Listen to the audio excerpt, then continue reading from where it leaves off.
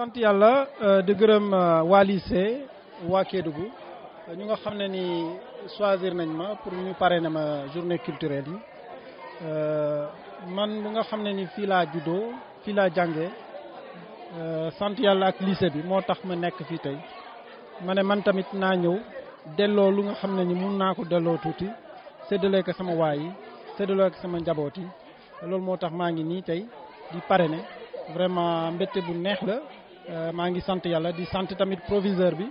sant tamit élèves yi ak professeurs yu fi nekk ak parents d'élèves yi. lycée bi lycée bu nga xam ne ni Kédougou tey euh, mooy grenier Sénégal moo si gën a mën a moo si gën a riche euh, soo xoolee entreprise yu fi nekk entreprise yu mag la lycée bi lycée technique industriel et minier. de Kédougou am nañu ay formation yu bëri élèves yu bëri lycée ba nga xam ne ni tey am na ay prix d'excellence yu bëri lu tax loolu parce que dañoo liggéey professeurs yi di liggéey élèves yi di fi nekk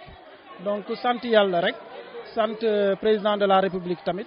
di ñu jàppale mu continuer di ñu jàppale pour que lycée bi jëm kanam parce que soxla nañ ko Kédougou soxna lycée bi pour ñu former ay jeunes ñu nga xam ne dañuy dem liggéey ci entreprise yi pour ñu gën a avancer.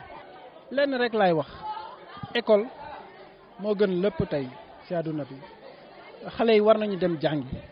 donc maa ngi encourager parents d'élèves yi ñu gën a dimbale xale yi dem di lig jàngi au lieu ñuy dem ci juraay yi nga xam ne ni vraiment loolu metti na. te liggéey boobu amul benn euh, bu nga xam ne dañ koy euh, jaflante donc lu ma leen di ñaan encore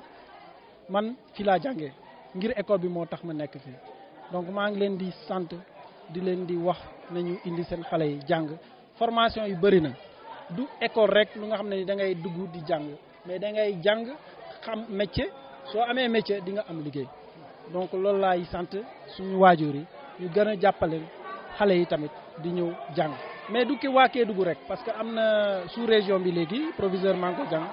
am na Sénégal yëpp